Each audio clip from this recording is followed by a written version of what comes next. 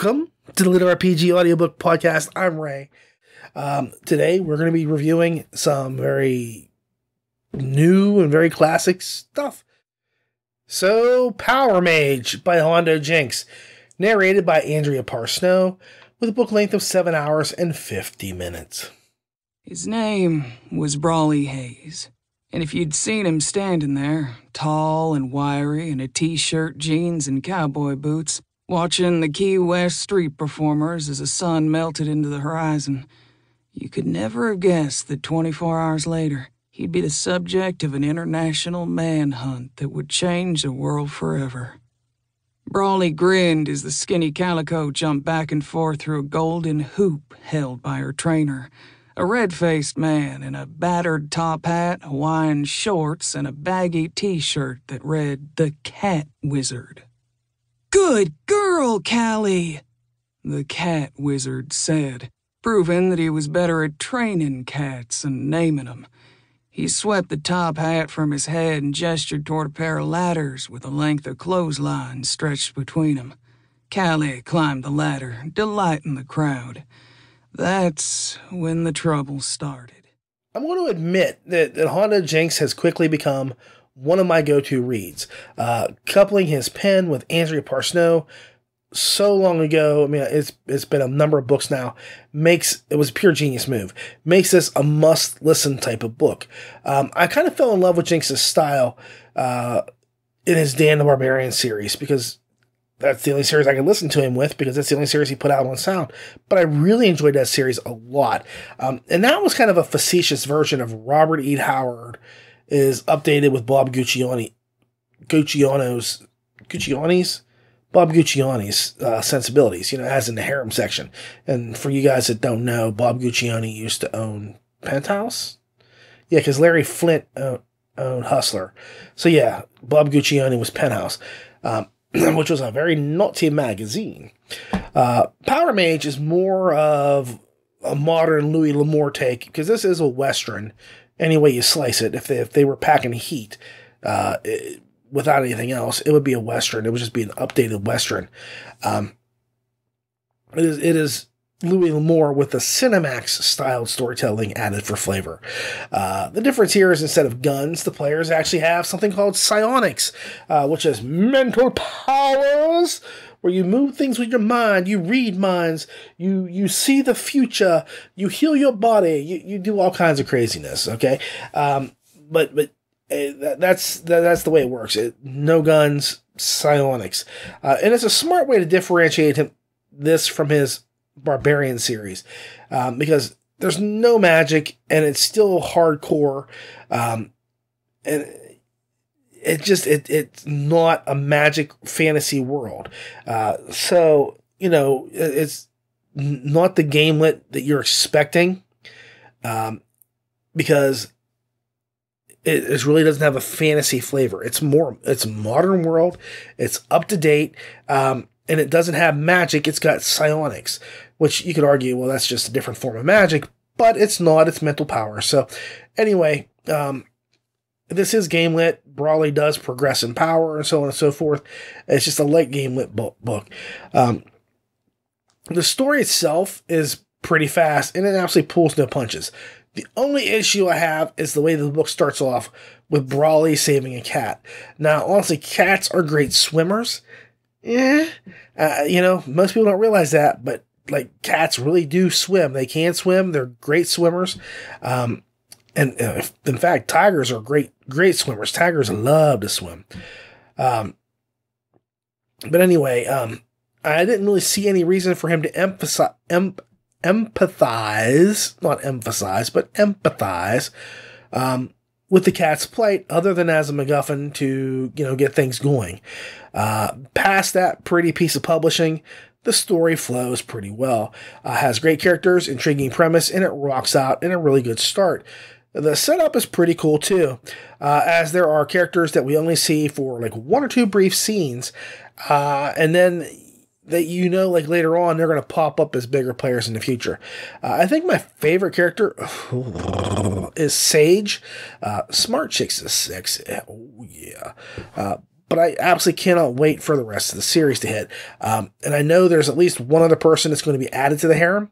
Uh, I, I, I, should say, I know there's one person that I know will be added to the harem later, uh, without ever reading reading the other books yet, because I just listened, and this is book one of the series. Um, I know who that one's going to be. Just, there's just no doubt about it. Um, now, there's a lot of stuff I could go into, and I don't want to keep these these reviews kind of short, but basically, Brawley is just some guy from Texas who has a feeling he should go to Florida and kind of just see what happens. And he ends up going down past the Keys and all that stuff and getting to this little place where something happens and it awakens his psionic abilities. Um, he is kind of helped out by a girl with purple hair, which is kind of shaved on one side. Um, and she helps him unlock his powers uh, because he finds out he's got psionic powers. Now, it's not a spoiler, it happens right in the beginning of the book. So he ends up running afoul of the psionic mafia.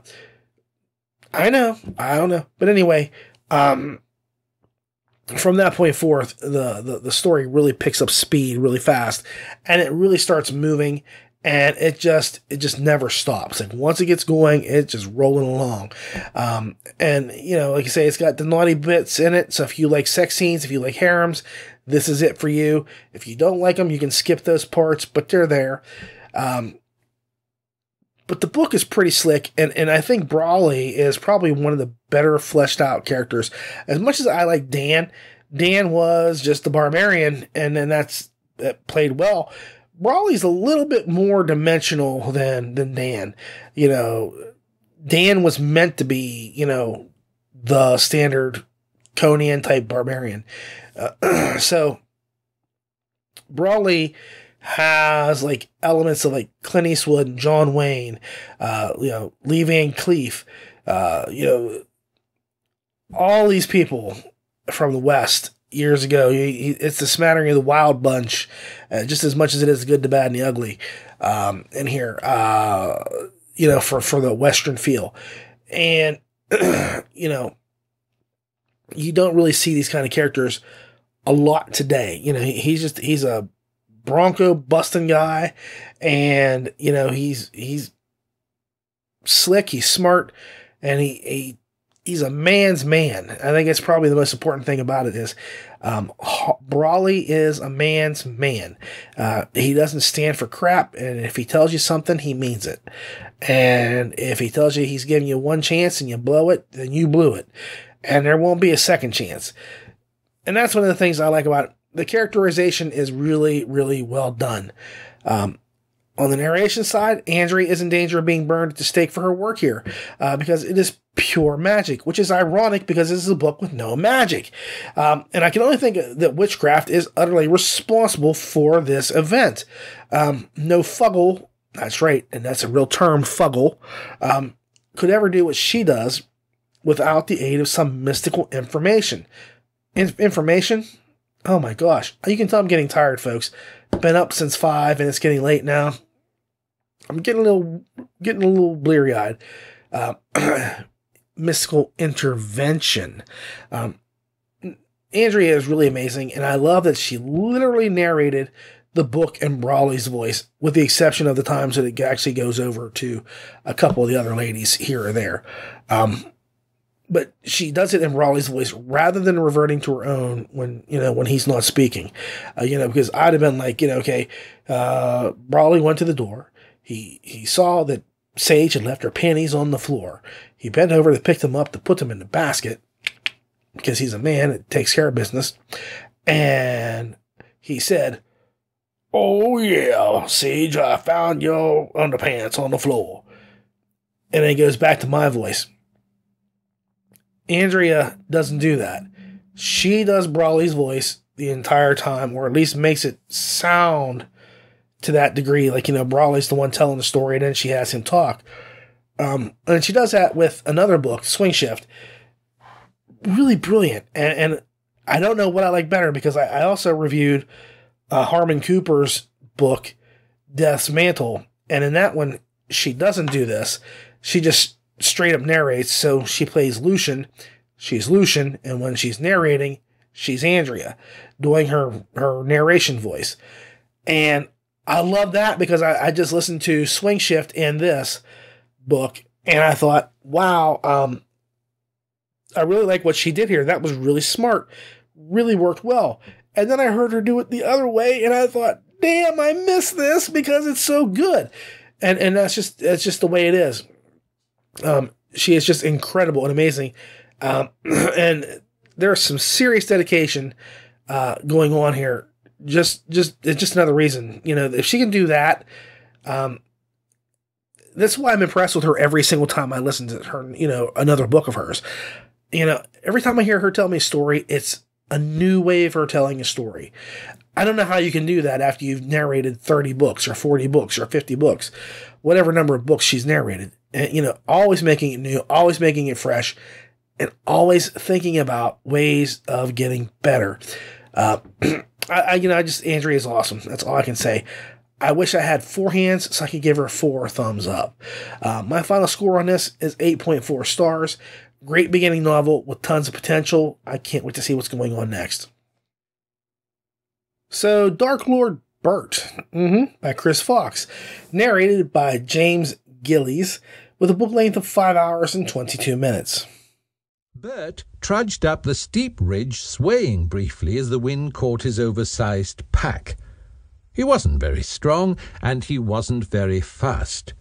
But that was sort of expected when you were a goblin.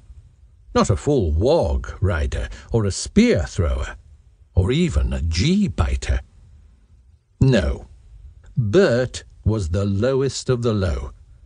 He was just a one hit point goblin, so low that adventurers couldn't even see him, since he counted as a critter, like a rabbit or one of those cute little owls. But Bert had one advantage, an advantage that he would use to outsmart the village elders and even his mum. An advantage he'd cultivated from the very weakness that caused the bigger goblins to laugh at him. He smiled wickedly and revelled in his own power. Bert smart. Dark Lord Bert is a cute but short little romp into the world of a minor goblin that is nestled well within the goblin horde. Um, there's a lot of things that go on with Bert, that's the name of the goblin, uh, that I think are important. And, you know, you catch them on really quick as to what's going on. But basically, um, as a goblin, the more goblins that are around you, the less intelligent you become. Like Bert is really smart when he is nowhere near his relatives. But the minute he gets close to him, his head starts to hurt. It's hard for him to think. He can't um, string together great ideas anymore, uh, and it just it's very obvious that the the group think overwhelms the individual, and so you know where Bert is actually pretty smart because he he gets away from the others. He can't use that to his advantage the way he really should. Um, the story, I must say, is a little bit light on game aspects, although I will say it once, and I have said it a thousand times before. I only need enough to know that it's, it's got enough information there that it qualifies as game lit. Um, the game elements are really used really well in the book. Uh, the the ones that are there, you know, we're not, it's like I say, it's not heavy, it's not overwhelming, but there are gaming elements, and I think they work pretty well.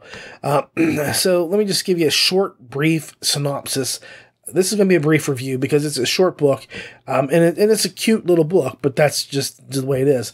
Um, the book details how one insignificant goblin rises from being a nothing uh, to becoming a dark lord, which is just what the title suggests. As I said, the story is cute and has funny moments, and I think Bert is actually pretty well crafted. Some bits really nailed it, such as all the wizards. You know, the, all these wizards kind of show up to claim a territory that Bert cleared out, uh, and uh, I think it's worth the time to take to listen to it. Um, it is funny. It, it's also a cutesy little story. Um, but it, there's nothing wrong with that. I, have been accused of writing cutesy little stories too, some sometimes. So it, it's just a silly little thing, um, and it won't cut into your listening time because it's only like five hours long. So you know, give it a shot and enjoy it because it, it is it, it is worth the time and effort that you're going to get into this book. The book's not deep, but it's not meant to be you know of great depth. It's just a romp and silliness. Um, you know, and when I say this, what what is it that you know struck me as as being worthy to make you come into it? There are characters in the book, um, like like a an archer who's cursed that he can only shoot people in the nuts, let's just say in the private areas, um, with his arrows. No matter how he aims, where he aims, it's just going to hit them in one spot. Um, that was funny. Uh, that was really funny to me. And, you know, Bert does some silliness talking to a snail, uh, things like that, getting in and having to clear out an undead horde all by himself. It's just really worth your time, but it's just not overly heavy with gaming mechanics. Just be aware of that. Um, Gillies also adds to the humor with his reading style, uh, and he really gets Bert's voice just right. Um, his proper English voice fits the story so well. It kind of felt like Mr. French was reading to me. Um, he has a very pleasant tone uh, to his voice that's almost kind of hypnotic, and I have to wonder if I wasn't hypnotized as I listened. My final score, like I say, it's a short book, uh, short story. So I'm going to keep this review brief. Um, but, but it is 7.8 stars. I think that it, it's a very light gamelit that's infused with humor and characters that will keep you posted. Um, as I've said before, with uh, like things like Noobtown, uh, that book or Eric Ugland's Good Guys, uh, those books have like a, a, very strong humorous turn to them and how they do things and how things are dealt with. Here, the humor is is just kind of light and fluffy, and it, it doesn't always like knock you off your feet, but you, will go, "Huh, I get it." It's almost like a dad joke sometimes, uh, but it still it still comes up. It's just not to the guffaw that you get from Badgalore, you know, in in Noobtown doing something. Um, so you know, it, it it it is funny. It just is not like ha ha ha ha ha. It's kind of like ha.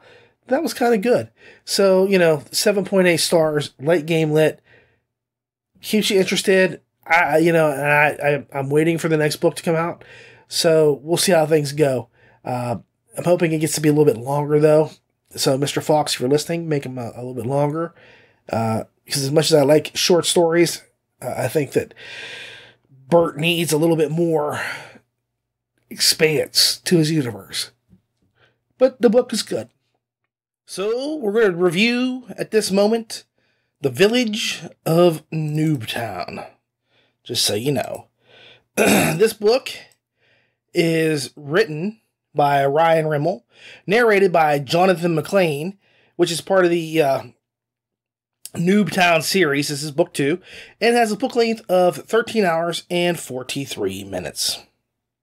The cold, stagnant air blasted into my face from the unknown darkness that threatened to drink my soul. My hand roughly scraped flint and tinder, trying unsuccessfully to get my lone remaining torch lit. I had started with three, but torches didn't last nearly as long as they claimed, especially when you were located deep underground hunting for monsters. Focus, dum dum, Shart thought at me. He had the ability to see in the dark and liked to point out all the darkest spots in the underground. It amused him. I heard the skittering again. Grumbling, I concentrated.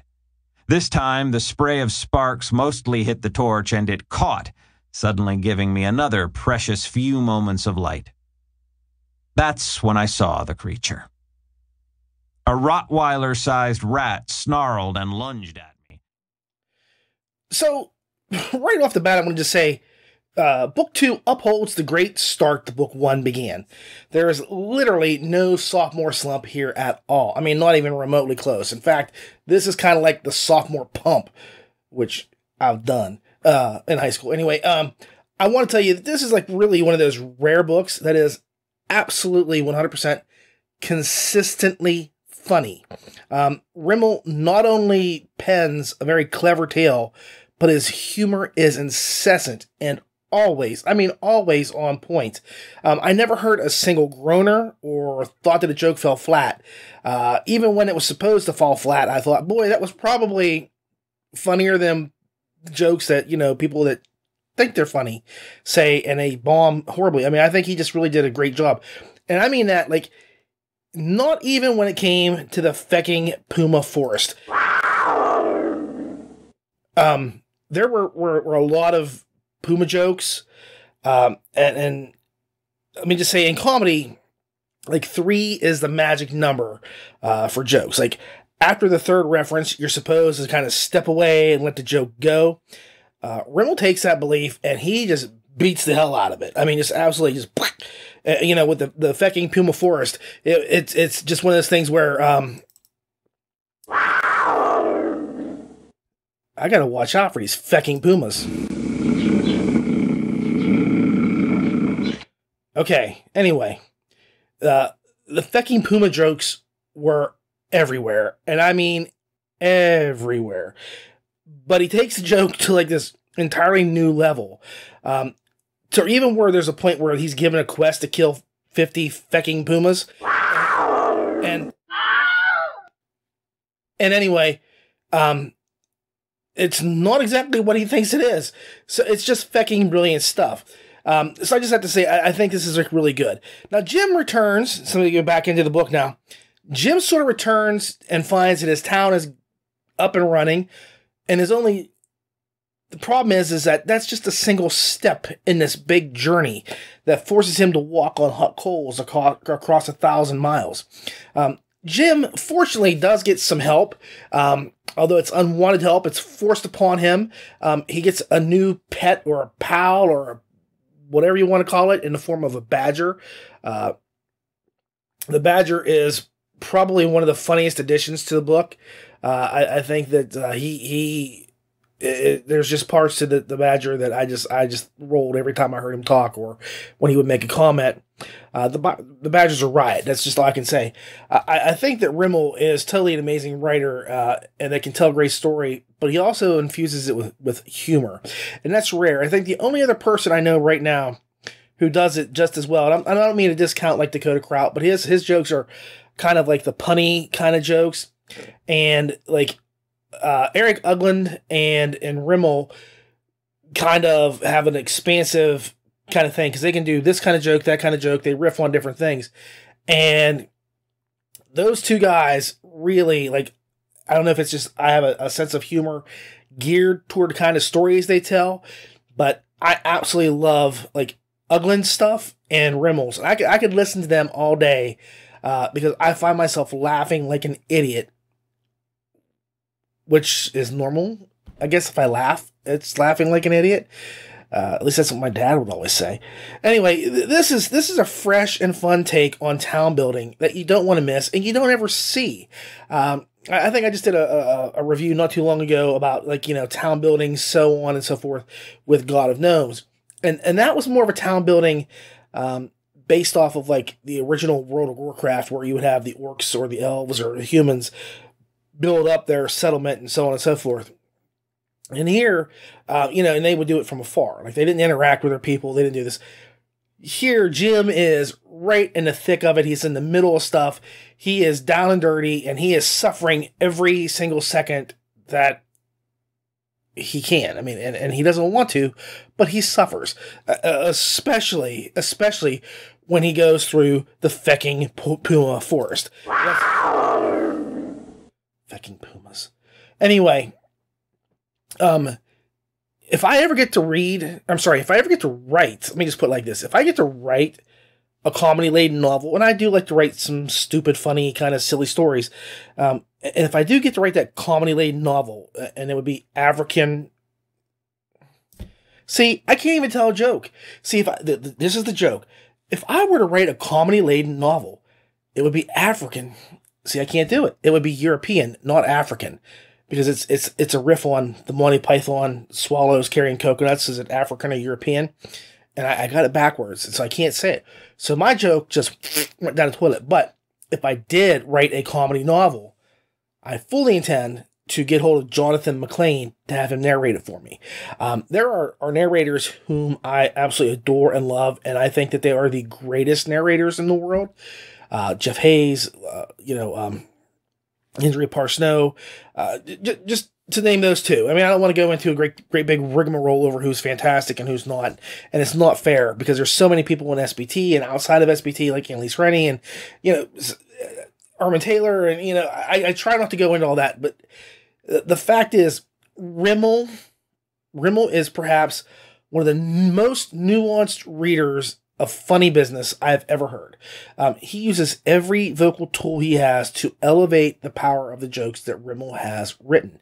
His inflection, characterization, pacing, accents. He takes the story, makes it sound like something Chappelle, Williams, or Dangerfield um, had all come together to write. I mean, you know, th- th- that's just the brilliance of how he does it. I mean, he literally works without a rim shot, but ting, you know, he, he doesn't have that. And I should, I have fecking pumas, but I, I don't have fecking pumas. I don't have a rim shot. I don't have that. Sorry. Maybe next time. Maybe next time. Uh, you know, prop guy's no longer working for me. He quit, so I don't know what to do here. I can't do all this stuff myself. Anyway, I, I think that that McClain is just. I mean, I, I I liked him in the first book. Listening to this book, I literally came to this epiphany at how great he was. I just listened to him like tell jokes, and I would rewind and listen to him how he worded that. And I said, my gosh, any other reader, other any other narrator, and again, I'm not throwing out this against anybody else, would not have read it this way. They would have read it in this capacity. And it would have been funny because it was a funny line to start with. But the way he did it, the way that McClain did this, he nailed that joke down. Um, you know, I mean, he, he just he just does a really good job, joke. Uh, good job. Good joke. He, I don't know what my problem is today. It must be getting near Christmas. Actually, I'm gonna tell you the truth. Um, our vault company sent me over, I'm not kidding, like eight giant bags of these things. It came in in this thing, and it's it's popcorn, and I've eaten about a quarter of this bag of caramel popcorn, and I'm hyped up on sugar, so I can't think straight. But my point is, Rimmel is brilliant. I never heard a joke fall flat. And in fact, I firmly believe he made his work better in this book. Um, he elevated Rimmel's work better in this book. So all I gotta say is, McClain, I have my eye on you because if I do get to write one of my silly, stupid books that I want to write, I'm calling you up. And that's a promise because I'm just amazed at how well you did things. Now, just kind of give you a fleshed out, fully bit of the story. Uh, the town is still in trouble. They need to raise money and they need to pay the people in the town. And he is beset on all sides by different things. There's there's goblins coming, there's other things coming, and poor Jim is right in the middle of having everything collapse in on him, and he's going to lose the, the, the, town itself. He won't be mayor. Um, he's got internal conflict. He's got external conflict. It's really good, uh, and and it's really paced well. I mean, like I don't think it ever dragged a bit in this the story at all. It was like bam, bam, bam, bam, bam, bam, bam. And I think one of the best parts about the story was just like I said, it gets silly, it gets goofy. Um, and I can't remember the wording of this. I hate to, I'm not trying, I'm not going to spoil anything because it's, it's just, it's a good joke. But he, he learns magic in this book. And his magic is like elemental air or something or other. But basically, it's it's fart magic, and um, he he ends up making things fart, and that's the extent of his ability. So you know he, he makes like pumas. Um,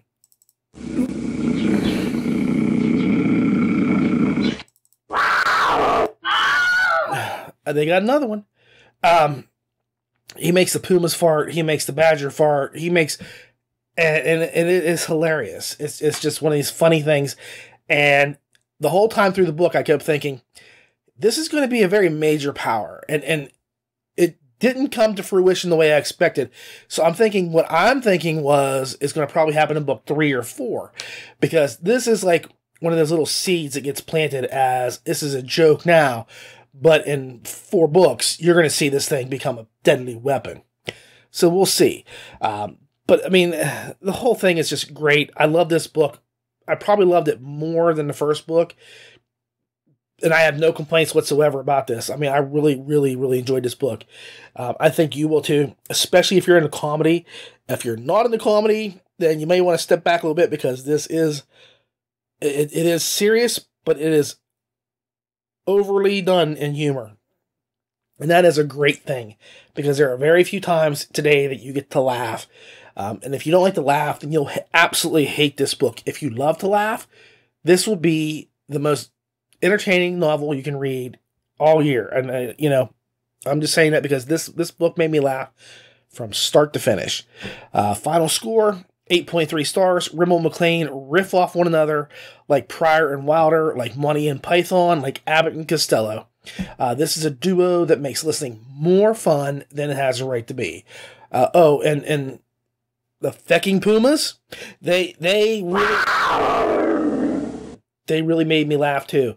Uh, so you know, if you get a chance, pick up this book and just check it out because it, it's it's incredible. Oh, so War God's Mantle, Underworld, Book 3, uh, by James Hunter and Aaron Crash uh, narrated by Armen Taylor, uh, with a book length of 14 hours and 38 minutes. I stopped. We still had about 15 minutes until the top of the hour, something was moving in the pristine blue waters. Three big shadows were carving through the waves and ocean spray, heading straight toward us.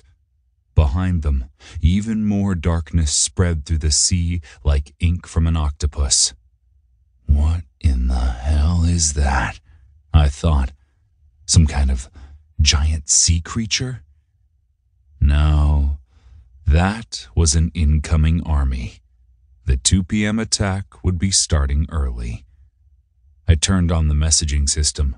I was loath to use it since it would alert Antiope to the fact that we knew the attack was on, but at this point, there was no other option. I hit every Amazon in the city, we have incoming enemies on the Western Ocean going for the beach. I need everyone up and at 'em. So, how do you say goodbye to an old friend? I mean, I, I, I don't. I don't ever say goodbye. I just kind of pretend that, that old friends of mine that are gone are still hanging out just down the road. Just they're only just hanging out around the corner, around the bend, just down the road. And I plan on doing that with this series because even though, like, the Evel Knievel of writing, Mr. Aaron Crash, and the master of LitRPG craft, James Hunter, have left an opening for this book and, you know, continuation in the future, I don't think it's going to happen anytime soon. Uh, and, you know, uh, I think Mr. Evel Knievel Crash here, uh, he, he, he enjoys the series, but he's also got, like, enough going on that he can kind of let this one go for a bit and, and not worry about it. Um, I've been a fan of this book series since day one, and it's kind of funny how certain books remember make me remember where I was when I first listened to them. Uh, for the Completionist Chronicles, I was vacuuming the front porch of the funeral home. Uh, for War, God 2, I was in the funeral home storage room uh, cleaning. Um, every time I start War God, I'm instantly transported back to that time that I was in that cleaning room. Just like when I listen to Completionist Chronicles, um, I'm on the front porch vacuuming. It, it just, it's, I don't know why I do that, but I can tell you, like, I started moving uh, uh, uh, one of the couches off of the out of the way so I could vacuum behind it when I was cleaning the porch for the Completionist Chronicles. I was actually sweeping the floor with a, you know, pan and broom uh, when I listened to the first War God. Uh, so it, it always kind of transports me, and it only does that with certain kinds of books. So if, if I have that kind of a memory, I know it was a good book. Excuse me. Anyway, uh, you know, this is that good book uh, that has just two flaws, just two flaws that I could see. First, and my biggest complaint about this book is one I have that's very similar to the Percy Jackson series. And in that Jackson Jackson series, everything had a deadline. Um, and if you, you know, you don't know what I'm talking about, like, I, I have to read um, books to my kids for years. I've read to them every single night up until the point they turned like 14 and 15, respectively. respectively. Uh, so it was only a couple years back that I stopped reading books, and I'm actually starting back into it now with the two that we adopted. So I, I have to find books that I enjoy to read or that I know that is, is along the lines of this will draw them into stuff that I like to read. So, you know, my youngest son wanted to read Percy Jackson. And I don't hate Percy Jackson like I do Harry Potter. I loathe Harry Potter. I, I hate it. But Percy Jackson has this thing in his books where everything has a deadline. And, and if you, you know, you watch the movie, you'll see like Zeus is like, if I don't have my thunder back, thunderbolt back by um, midnight on Thursday, on Mount Olympus, I'm going to destroy the world because I have to have my thunderbolt back.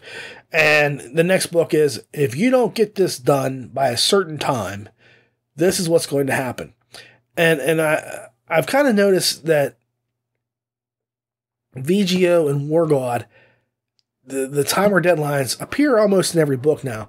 Like, for example, in VGO, you get a lot of Death Heads uh, quest or whatever you want to call them, the Death Heads thing happening where you're on a timer and if you don't do it, you're going to die and it's going to be a horrible way to die. Um, you know, you know, the Death Head quest, just that's it. Um, I get that you have to have like a, a sword of Damocles hanging over your characters' heads. Um, all I ask is just mix it up a little bit.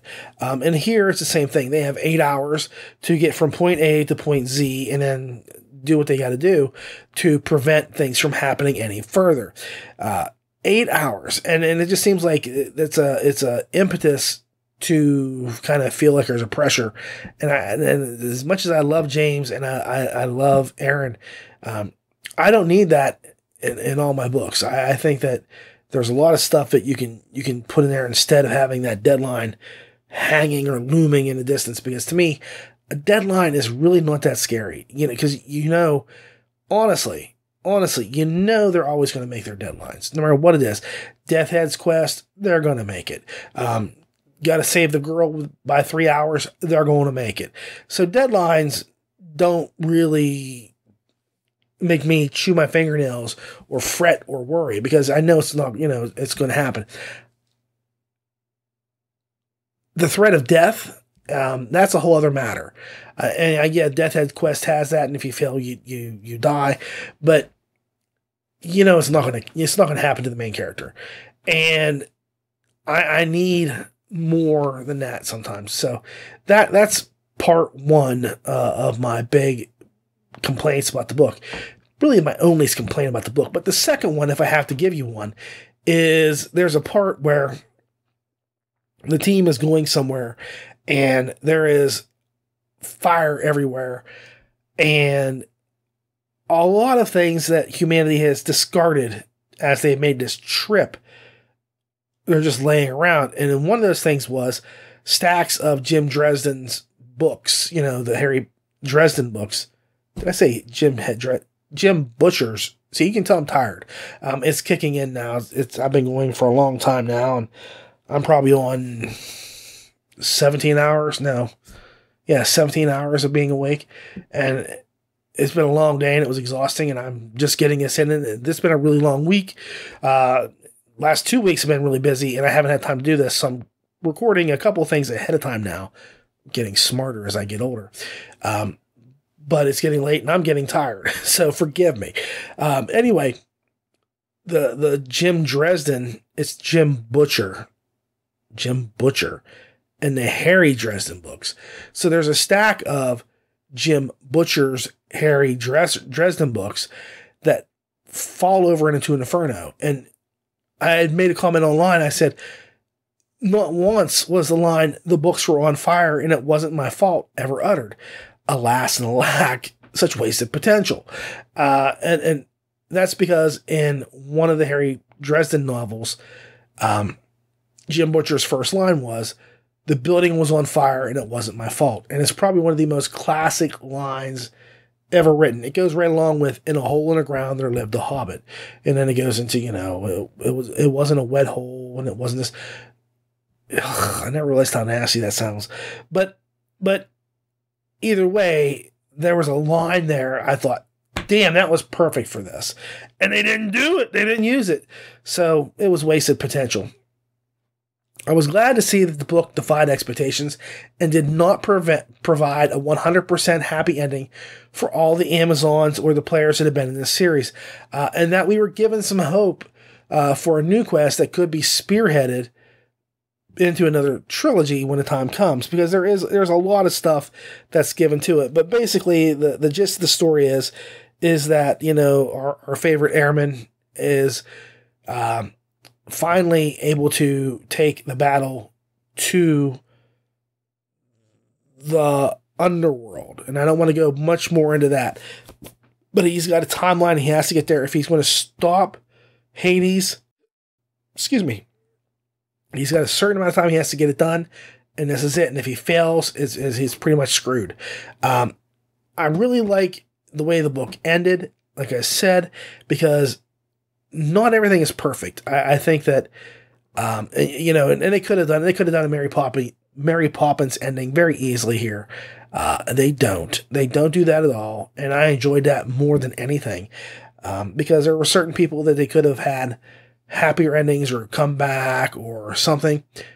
Those things don't happen, and it's and it kind of goes against expectations a lot um, because you know most times, you know, writers say, "Well, uh, I got to put this back here, put this back here, put this back here, and make everybody happy." Uh, no, they don't. It's not all pies and ice cream, and I hate pie, just so you know. Um, so that's it. But but the battles are really really cool. I like how um, the war god um, finally kind of comes into his own. He struggles a lot uh, against his his war god nature, but he had, you know, but he he ends up handling things differently, I think, than than what Ares expected. Um, and so, you know, he he kind of grows in a lot of new ways, and it was fun to see. And you know, we get to meet a new goddess, and the Amazons kind of flesh out. So it was it was a nice trip uh, to see them take, and the battle was at the end was really cool. It was really good. So I I enjoyed that a lot. The amazing Armen Taylor um, narrates this. He does his amazingly usual job. Um, did I say amazing that much? I, I just listen to myself say it, and I, I probably said amazing eight times in this last sentence. I probably, um, but the guy has an incredible voice, and he really knows how to tell a story, and I can see why he got into this business. Um, Taylor is one of these people that um, I love to listen to, and it's just one of these things where, um. He, he he just does such a good job every time he's up that you know I'm just like man I, I know no matter what happens, the, the book is going to sound great. And it really does. Excuse me, I'm having a hard time. I'm starting to dry dry throat it now. Um, but Taylor does such a fine job with the characters. And if, he had to have a weak spot, and I hate to say it, but if if, if Taylor has a weak spot, it's that um, his female voices aren't 100% perfect, you know. And I, I, think he knows that. I, I think that uh, having all those Amazons probably was was a struggle for him um, to get through because um, his ladies' voices really maybe about three of them he can get to that it's not clear um, that he's struggling a little bit. But after that, their voices kind of just kind of they're very not girly. And um, even before, they're really not that girly. Uh, you know, like I say, Jeff Hayes, he can pull off. Jeff Hayes can do women's voices like you can't believe, and Andrea Parsneau can do men's. So they're kind of like mirrors looking at each other. Whereas Armen just tells a really damn good story, does an incredible job, but his lady voices aren't exactly perfect, uh, and that's okay. You know, not everybody can do it. Um, so he, he's really good. He's one of my favorite narrators. And if you listen to him at all, um, you he would be he you know he he would be one of your favorites too. Um, C.M. Carney uses him for um, his series, and I really every time I, and I have a review coming up because I've actually got it all written. I just haven't recorded it yet um, for C.M. C.M. Carney's last book. Um, he uses Armen Taylor too. And I often think to myself as I'm listening to it, this is a lot like VGO. There's a lot of stuff that just seems to me like this is a Viridian Gate book. This has Viridian Gate qualities to it. This has Viridian Gate feel. And I, I, I want to make sure it has nothing to do with Armen Taylor. Um, as much as it, you know, he, he narrates and how he talks, um, the similarities there, it's just coincidence basically that Taylor narrates both series. Um, but he does narrate both series and he, he just he does such a good job. And i, I loved him a lot with with annelise rennie uh, in radioactive evolution you know by hummel. Uh, just kills it you know just kills it. Um, taylor is just an incredible guy all around i love listening to him. So you know just i know you won't have a problem with it either. Um, my final score is 8.2 stars. It's a nice way to wrap things up although i definitely want more of the new war god. I want to see, you know, right now he's just getting his footing. Um, and, you know, I hate to see like a character just get built up to where they need to, and then we walk away. We walk away. It's kind of like if you watch the movie Brightburn, Brightburn stops right where it really should have started. Like it should have started like the last half hour a Brightburn should have been the beginning of the movie, and then going into him being psycho and doing stuff. That would have worked a lot better, and it would have been a cooler story. As much as I like Brightburn, um, it had its issues. I just think that you know the story just should have started somewhere else and just continued onward. Um, here, I need more. I you know um, just getting the War God mantle under control and getting all the power that he gets, I, I, think that, you know, I need to see more of this later on. So, Aaron, James, if you're listening, please don't let this be the end. I hope the book is done well enough that you can justify doing another three books. You know, so it's up to you, but give it a thought. Well, folks, that's our show. Um, I hope you've had a very happy holiday or you're about to have a happy holiday. Anyway, uh, from the LitRPG audiobook podcast. Take care.